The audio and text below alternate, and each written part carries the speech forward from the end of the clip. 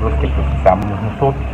Este, estamos pidiendo adicionales, nosotros tenemos una matrícula que hoy está registrada, pero sabemos que, por ejemplo, en zona norte, sobre todo aquí en Benito Juárez y Solidaridad, pues hay una movilidad de chicos que no han aparecido, pero que en agosto, cuando volvamos a abrir padres en línea, seguramente van a aparecer.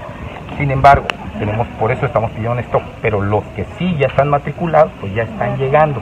Y sería como parte de lo que yo les dije, esto es como lo que tenemos este, eh, como, como posible actividad dentro de, de- de- de lo que es el inicio del ciclo escolar, que no indica que no comiencen a trabajar el primero, el, el 30 de agosto. Gente está haciendo sus clases, pero, pero papá ya viene, le entregan los libros, ya comienza a ver el entorno, que seguramente lo va a estar, lo, lo- lo- va a estar temblanteando, que tenga la intención de, de mandar a su hijo presencial. Nos vamos acomodando para tener ya un esquema de cómo sí vamos a tener. Cada maestro y en consejo técnico ya definir el primer grado se va a mover así con tantos alumnos, el segundo grado así, el tercero así, está y punto. Y comenzamos ese trabajo. De los contenidos programáticos tengo yo que reforzar para los aprendizajes esperados y no se nos derrumbe el chavo en el ciclo escolar que está cursando superior. Esto, si a un maestro yo tuve alumnos de tercer grado y voy a dar cuarto, el maestro que dio tercer grado me tiene que dar esa cita descriptiva y decirme a mí cómo van. Es todo un trabajo arduo que van a seguir haciendo nuestras maestras y maestros.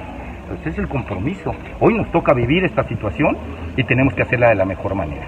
Profe, ¿de cuánto es la matrícula hasta el momento que tienen? Tenemos 342 mil alumnos. ¿Ya llegó? De nivel básico.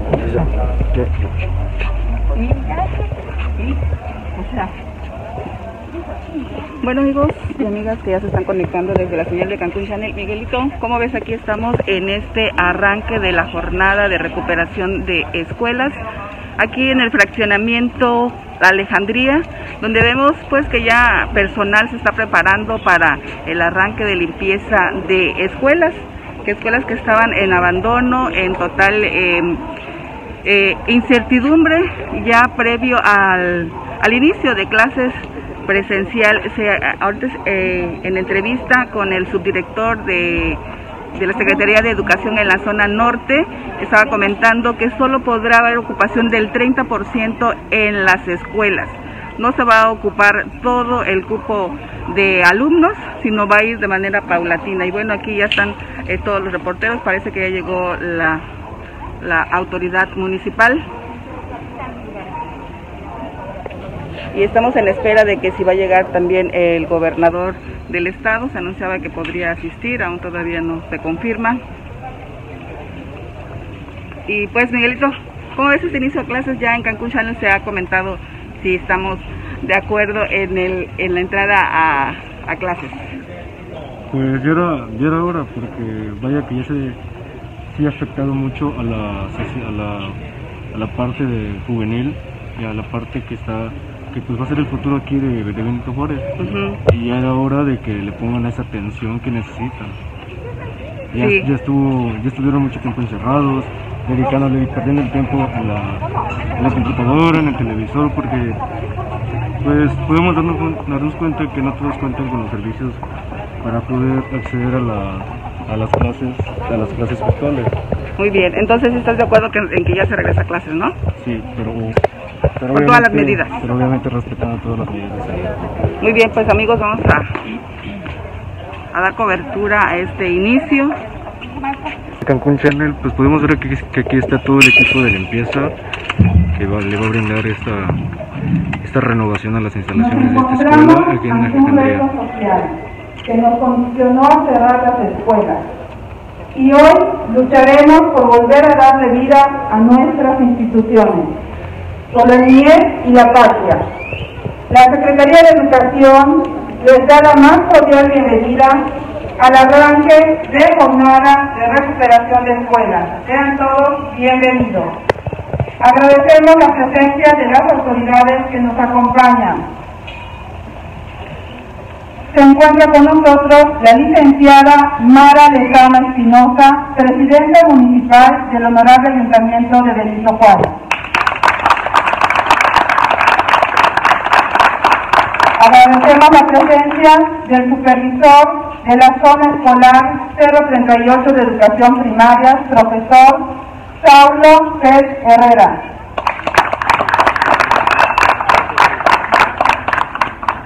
A la licenciada Virgilia Prieto Valdivieso, de la Sociedad de Padres de Familia Municipal. Agradecemos también la presencia de la directora del Jardín de Niños América, Cintia Catherine Lastra Pérez.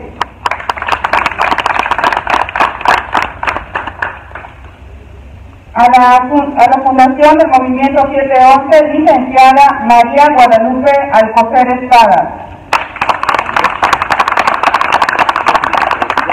Sea bienvenida también la licenciada Gladys Colet, gerente de comunicación de la Fundación Loma, en representación de la directora de la Fundación, licenciada Rocío Moreno Medina.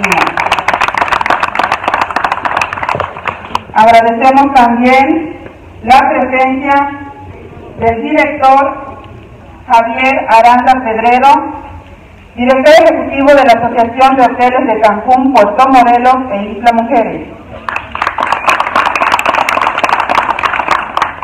Muy importante también reconocer la presencia del profesor Carlos Manuel Gorosica Moreno, subsecretario de Educación en la zona norte.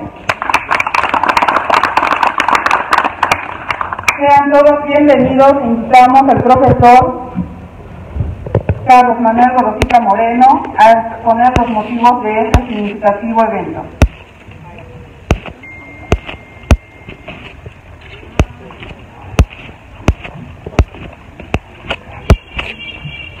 Buenos días, buenos días a todos ustedes en este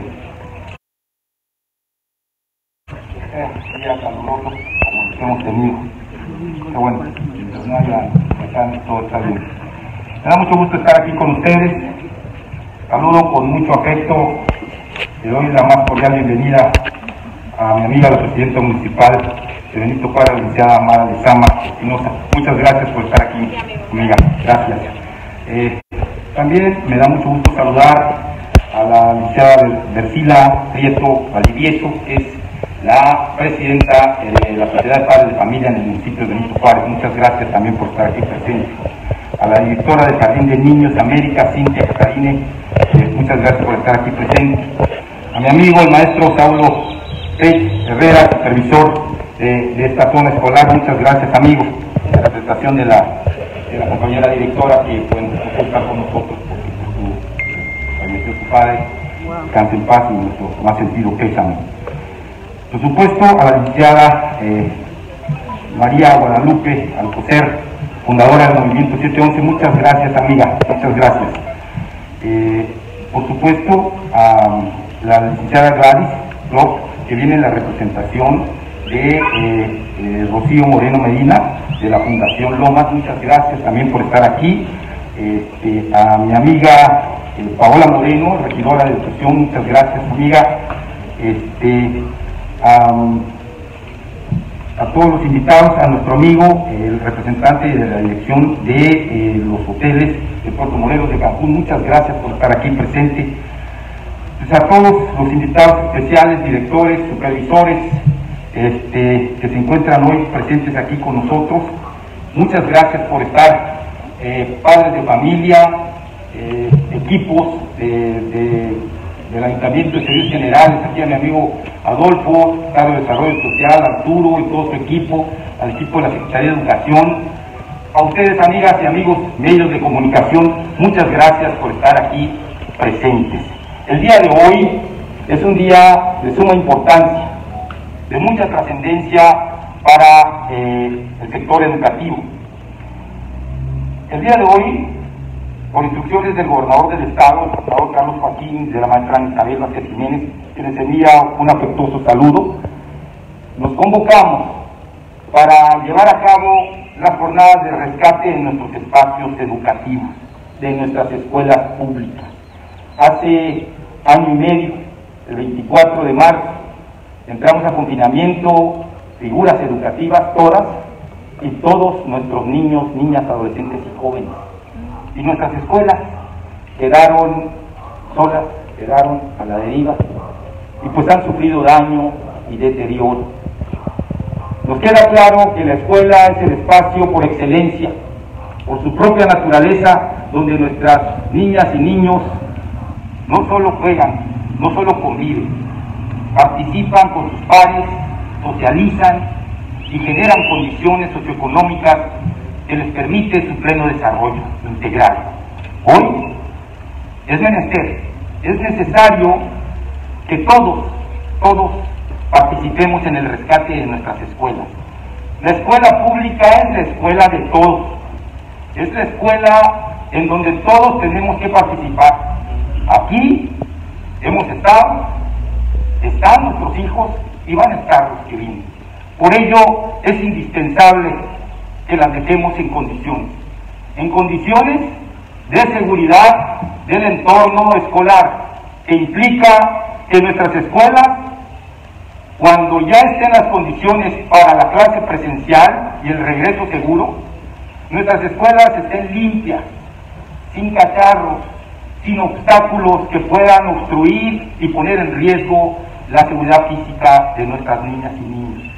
Pero que también estén en el otro eje del Plan Estatal de Regreso Seguro, que es con seguridad sanitaria, con seguridad que permita que nuestras niñas y niños estén seguros con los filtros y los insumos necesarios.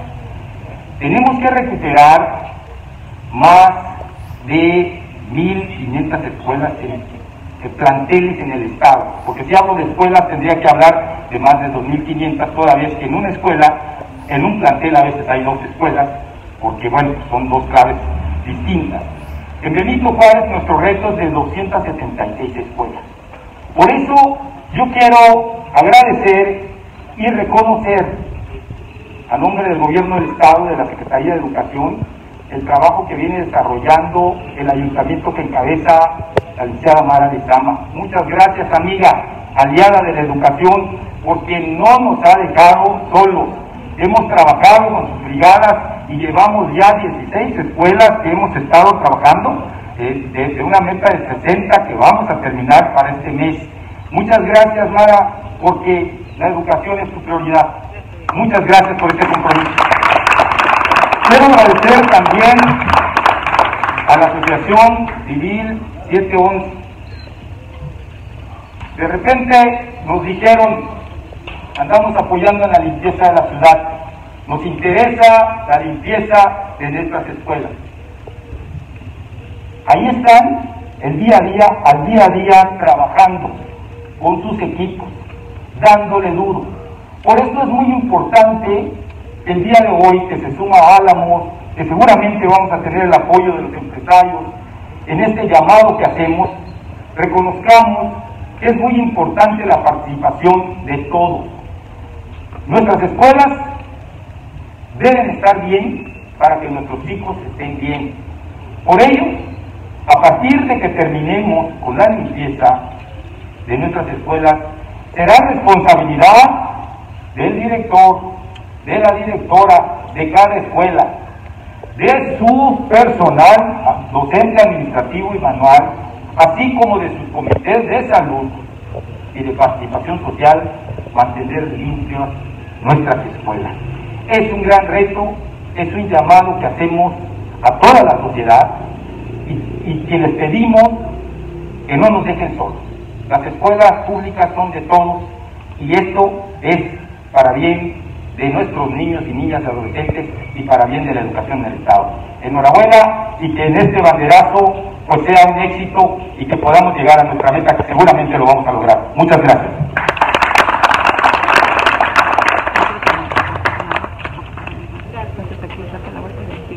Agradecemos también que nos acompañe la licenciada Paola Moreno Córdoba, regidora del Honorable Ayuntamiento de Benito Juárez.